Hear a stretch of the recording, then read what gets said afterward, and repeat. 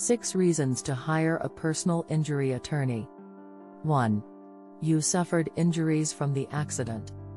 If you are suffering from an injury that resulted from someone else's negligence, then you should be more concerned with your recovery and getting well than fighting for your rights to fair compensation.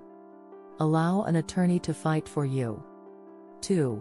Liability is unclear. If it is unclear who the negligent party was, who is to blame for the accident, you should contact a lawyer. 3. You need help negotiating with the insurance company. An experienced attorney will intervene, handle the insurance company for you, and help level the playing field with effective negotiation to prove your case's true worth. 4. Victims with legal representation receive larger settlements.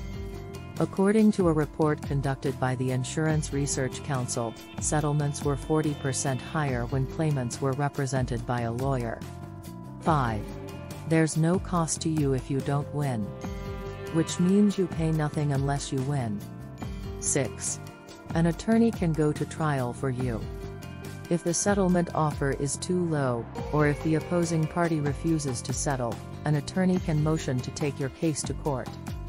For more information and a free consultation please call at 877 Ask for Sam or visit us online at www.askforsam.net.